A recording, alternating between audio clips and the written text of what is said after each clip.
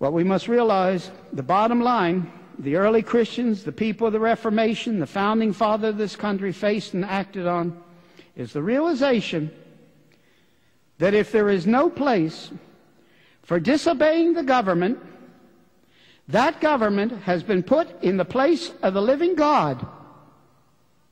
In such a case, the government has been made a false God. If there is no place for disobeying a human government, that government has been made God. Caesar, under some name, thinking of the early church, has been put upon the final throne. The Bible's answer is no. Caesar is not to be put in the place of God.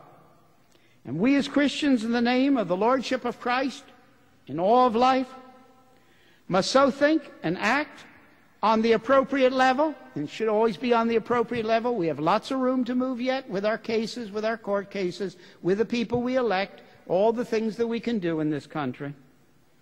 In the name of the Lordship of Christ and all of life, we must so think and act on the appropriate level. And if unhappily we come to that place, the appropriate level must also include a disobedience to the state. If you're not doing that and you haven't thought it through, Jesus is not really on the throne. God is not central. You have made a false God central.